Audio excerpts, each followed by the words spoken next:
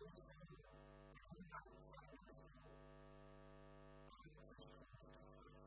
but you